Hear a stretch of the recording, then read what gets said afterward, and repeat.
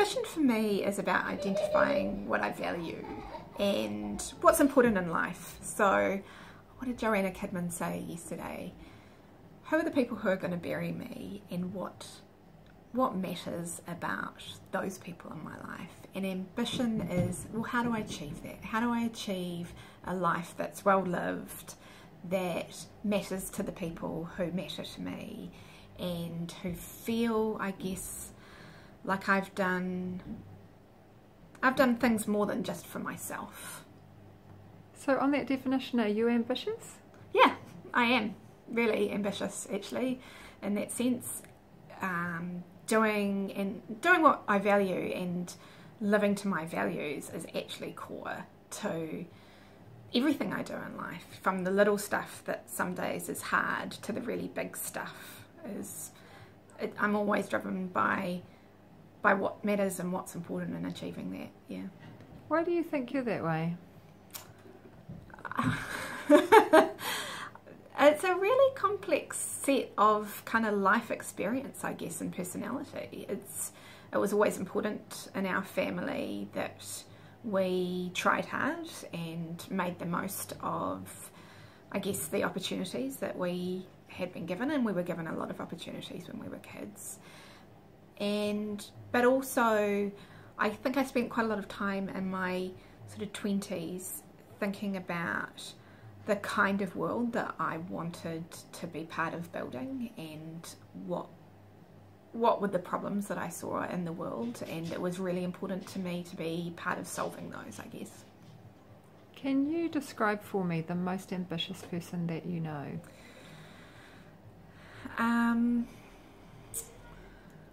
I don't know if I can actually because I don't really surround myself by people who are just driven by the idea of ambition. I surround myself by people who live their values and that feels different to me, I think.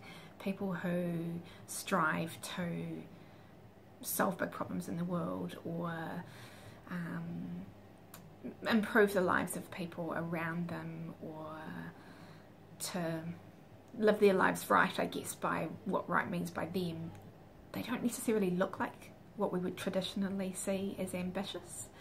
So I guess when I hear the word ambitious, I tend to think of people who I don't necessarily respect in terms of their value set. Yeah.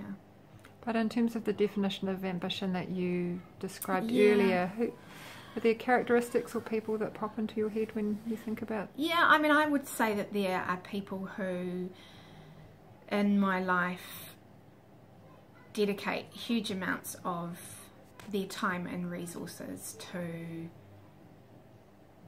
to people other than themselves would probably they would be the most ambitious people that I would think about and and the funny thing is is that those are often people who you don't know about and who people wouldn't know about or aren't, who we don't tend to celebrate or put up on a pedestal, I guess. Um, and I'm trying to think of the people who I look up to in that regard, and they're often women. You know, they're often women who are juggling multiple needs, but they're all of their own lives, of their children, of their families, but they're also trying to do right by other women as well, uh, and and often unrecognised or unknown. Yeah, I, I yeah I really I think for me it's other women. It's other women who, with constrained opportunities, still work really hard to offer offer something to other people. Yeah. Is there anything that would enable you to be more ambitious by your definition?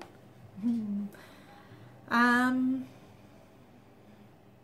you know, because I'm a systems thinker, I often think of the constraints in a system to allow people to realise what really matters. And for me, the stuff that really matters are things like taking care of the environment, taking care of other people, being innovative, progressive, exploring new solutions and big ideas. And I think there are constraints in our society which prevents that from happening. And, you know, for women, there are unique and particular constraints on uh, terms of our expectations, in terms of where we can go and how we're allowed to behave, and and what people see as acceptable behaviour as for people who are striving, I guess, to to live their values. So yeah, I guess I would think that we could be a society that was more encouraging of innovation and of people living communitarian values. Yeah.